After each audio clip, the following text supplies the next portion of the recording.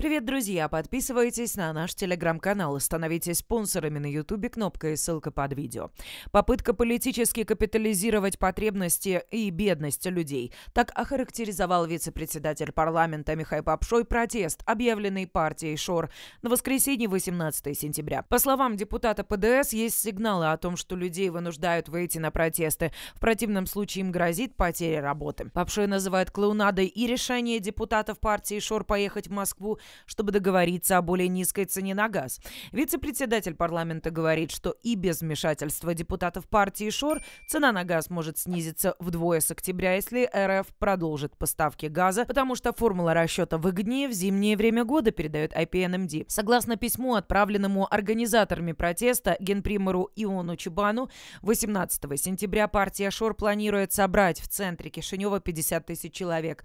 Даже председатель Аргеевского района Дин Дину Цуркану сообщил Иону Чебану, что организаторы хотят проводить безостановочные протесты с возможностью установки палаток перед зданием президентуры.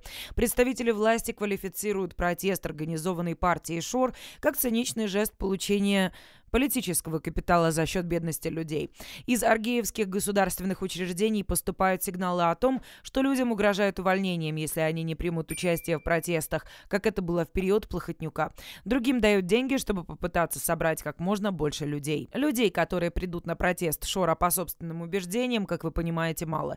Это попытка дестабилизировать ситуацию, политически капитализировать потребности людей, и граждане это понимают. Из украденных денег они пытаются подкупить людей. Это жест отчаяния со стороны беглецов, которые не в ладах с законом. Циничный жест эксплуатации бедности. Граждане достаточно проницательны, чтобы понимать, когда речь идет о мирном гражданском протесте, а когда о мелком протесте, призванном для дестабилизации ситуации, сказал вице-председатель парламента Михаил Попшой в ходе передачи на R-Live TV.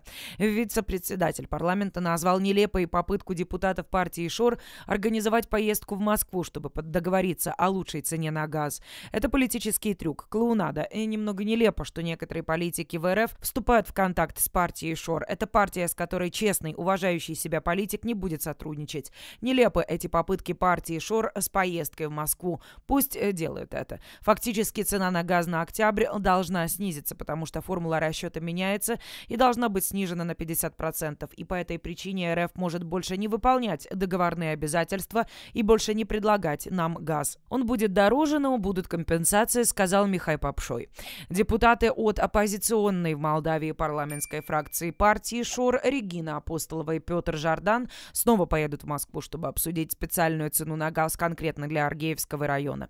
Напомним, на прошлой неделе эти парламентарии, а также депутат от блока коммунистов-социалистов Константин Старыш уже побывали в Российской Госдуме, где встретились с председателем комитета по международным делам Леонидом Слуцким. В условиях, когда президент и правительство правительства отказываются от каких-либо контактов с высшим руководством России, некоторые же наоборот ездят туда в надежде выпросить что-нибудь у главного диктатора этого мира. Других путей решения проблемы они не видят. На этом я с вами прощаюсь. Подписывайтесь на наш канал, жмите на колокольчик, а также не забудьте написать свое мнение в комментариях. Теперь газета всегда с вами. До встречи.